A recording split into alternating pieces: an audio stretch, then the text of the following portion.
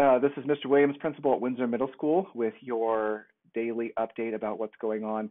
All of you should have received a message from the superintendent today letting everyone know that school is going to be out uh, at least until May 1st.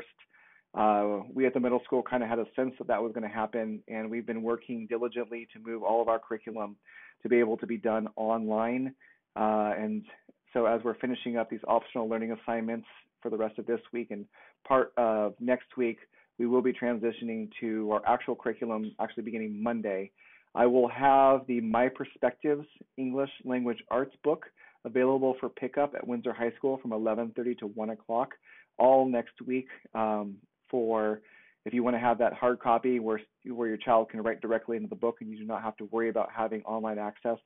Uh, the assignments for English language arts will be done through My Perspectives. Um, a couple classes will be doing novels, uh, but mostly through My Perspectives. So I will have those available for you on uh, Monday. We are not going to be distributing the uh, iReady packets anymore uh, as we are transitioning to our actual curriculum that will also be available on Monday.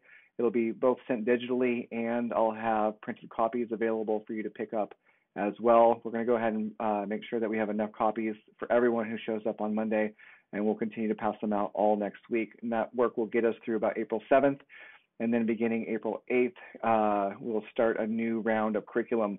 All everything will be sent out digitally, but we will always have um, backup copies as well uh, if you prefer to, or you don't have access to online. So that's what we have. Um, I'll keep updating you every day with as I found find out information. Um, we'll let everyone know. If you don't, if you have any questions, please don't hesitate to email me at bwilliams at wusd.org. Thank you.